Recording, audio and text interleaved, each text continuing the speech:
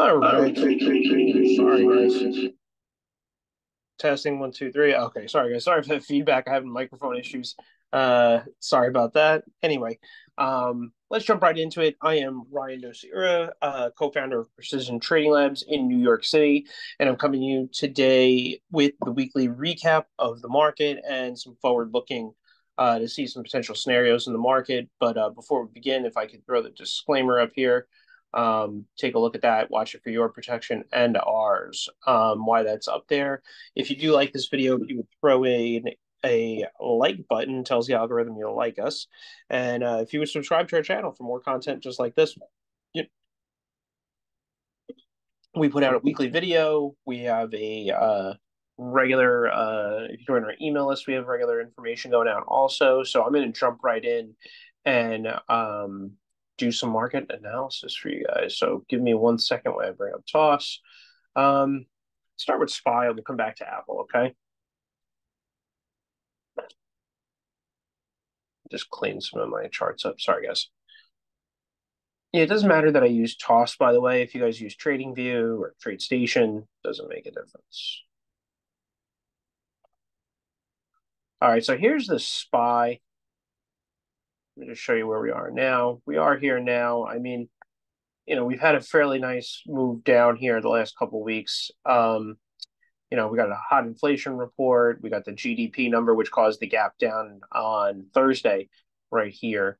Um, you know, but it kind of stabilized and recovered. You know, um, we had the GDP report, and then it also did not like Meta's earnings. So obviously they got their butts kicked in that because of you know a lot of reasons. But um, you know, we're sitting. We looks like we reacted to this is like a support area, not so much demand. You know, close that gap.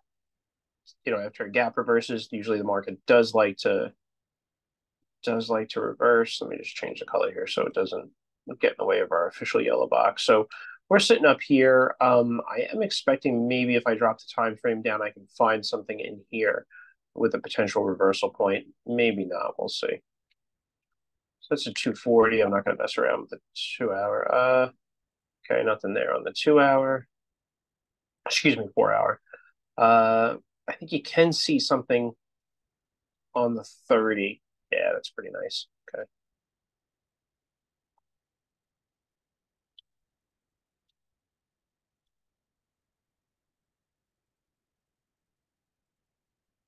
Okay. Folks, do you see we are sitting right here, right? So we'll see where the market opens tomorrow, but right in this vicinity here, would expect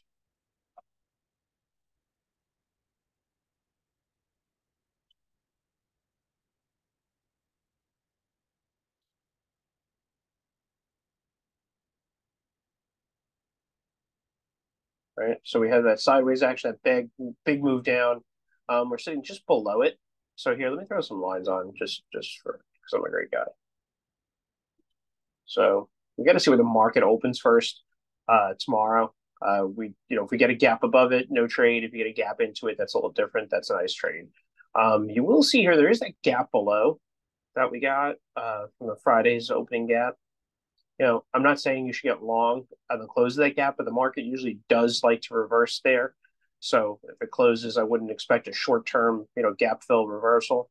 And then, um, you know, nothing really too pretty here.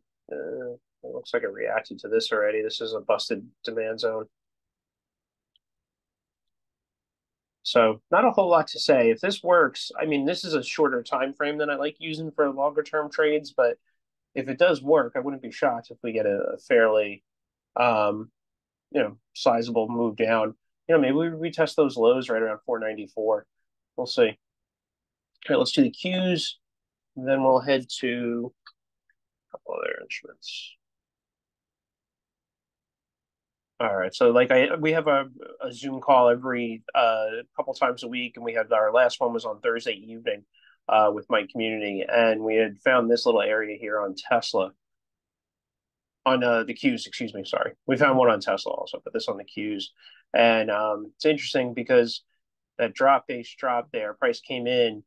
And, um, you know, I didn't think price was going to get there on Friday. Or I was hoping it was kind of wait till next week because I don't like when the market closes inside the zone like that you know, Mitch and I are always talking about, you know, first thing that, that has to happen when you have a trade, it has to stop price, then it has to reverse price.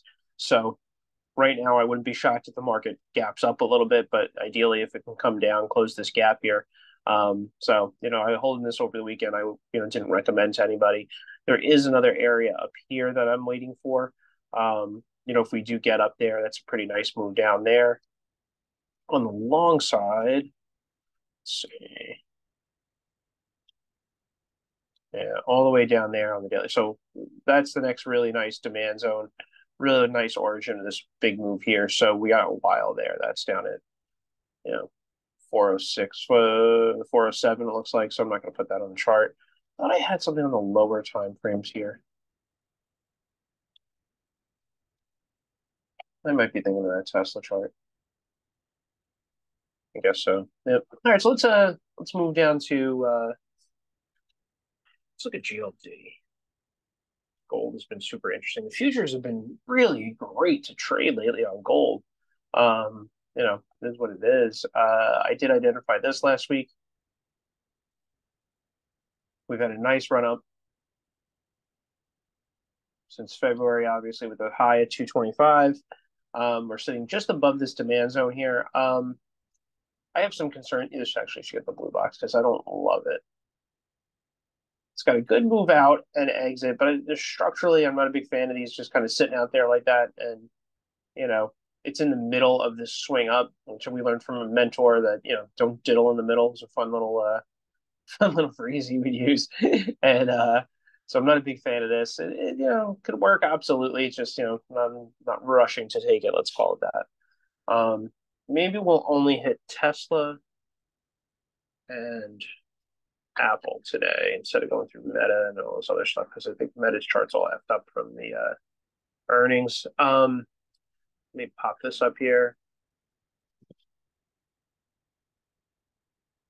Oh, I must be dyslexic. Okay.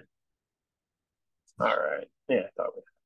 Okay, so on the daily chart, you know, not much of, you know, we've come off the highs of 300 and tested 138. So let me show you the trade we discussed in my community the other day and it's that's the origin right there. That's the demands. Uh, excuse me, supply zone. And sideways action, big move down. Price comes in, eventually drops. Yeah, the, the one thing we talked about on Thursday was uh waiting for confirmation on the Friday morning open because I just wanted to see where it was going to open. Um, so you had time to react, kind of smacked really down, and then just you know, slight recovery. I still expect that there's just air and we'll wind up down at 164 here, which is a very nice risk to reward here. I'm, I'm liking this. It's about three to one. And then you have a chance here for a little demand zone here to get long. Not too, yeah, I mean, I like it. I mean, you got a tested supply, good demand, and a nice trade come out of that. So, um, that's for me. And uh, before I get to Apple, guys, just want to remind you that there is some links in the description. Um, besides liking and subscribing our info, there is a calendar link there where you can book a call with me. Um, I will happy to take you through our process for trading stocks, options, and futures. But uh, I'm only going to keep this video to, to stock related stuff. If you want to, obviously, if you don't want to short Tesla, you can always you know buy puts and stuff. I can walk you through that. I've been trading options for quite a while now. So, um, so Apple.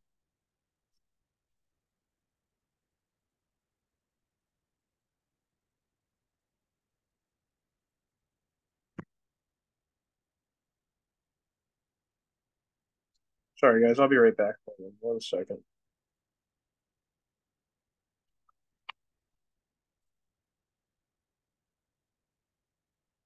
All right. So it looks like I identified stuff in Apple. Oh, yes. I know what. Okay. So actually, I got to give Mitch credit for this because he did this one of our training sessions. We were doing a live course and he had found this little weekly area here on Apple.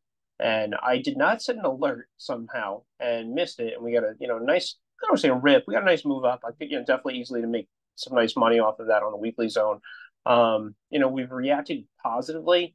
Is it going to hold for too much longer? We really got to see tomorrow. I can't really say right now. I need the market to to kind of guide me, and we'll see what Monday uh, tells us. But let me drop to. I don't think there's anything on the daily actually. Oh, they have earnings. I think coming up, don't they? Hold on. Back to the weekly. Yeah, okay. They're just waiting for earnings. Okay, not not much is going to happen. Hopefully, um,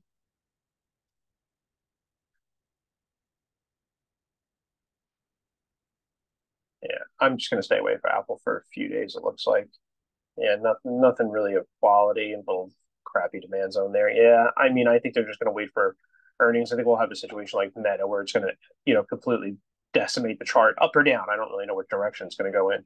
Uh, but if it gaps up, it'll take out all the noise over here. If it gaps down, it'll take out all that noise. So um, just sit on your hands there with a uh, Apple. You know, I mentioned it's what the hell. Let's just do that. Oh, you know what? I do want to leave time to look at Bitcoin real quick. Um, we don't get a ton of stuff about Bitcoin, but since we have a couple of students doing really well with it, um, you know, I have one student named David who's been trading crypto since I first heard of it. You know, he's one of my earlier students.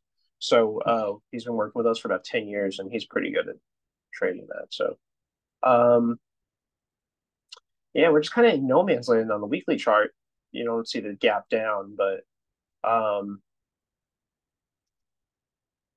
change it to a daily.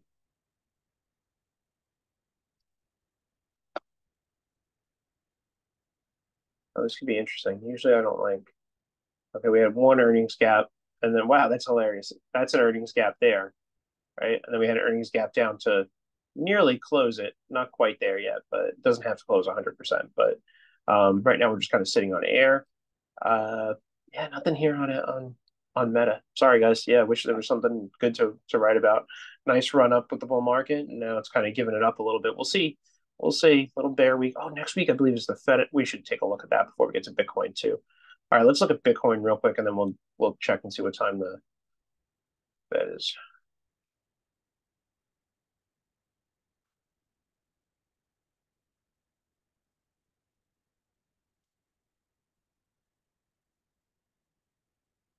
All right, so this I already have the chart up. I'm not going to talk too much about it, but looks like Bitcoin came off the highs. I think people one someone I somewhat respect when it comes to crypto We're saying eighty thousand, never got there. Um, you know, now we've just been sideways in the 60. You know, if you look at this and I draw, let's just draw a rectangle. You see, it's been mostly in a range. It hasn't broken out of this range. That's interesting. I don't know what Bitcoin's waiting for, right? So like either breaking that high or breaking that low. But if it breaks that low down at the lower end of the of uh, the rectangle, sitting just below there. This is a four-hour chart, by the way. There's a very nice demand zone from a couple weeks, a couple months ago uh, sitting right there on the four hour. So we're sitting up here. You know, if we get a move down there, I like that zone a lot. Um, you know, if you trade Bitcoin. And then uh, the other thing I wanted to do, guys, is let me just grab this. Let's just look. I think the Fed announcement is this week, so let's just. I could be wrong. So, so here's Monday.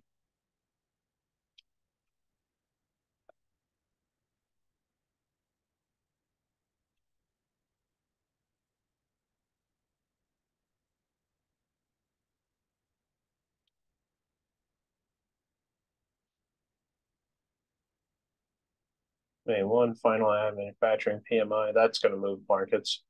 ISM. Okay, these, these, these are big. These are big. And then, yes, 2 o'clock, Wednesday, May 1st. I think we will probably have to check my schedule. If we can do the live Fed announcement trading session that we've done a couple of times, usually that gets a lot of good reviews. That you know, the funds rate um, Mitch is usually really good at getting the timing really good. So the number gets released at two, and then Powell talks at two thirty, and that's a little bit more of a market mover. So um, be aware of this, guys. I'm going to be flat going into it.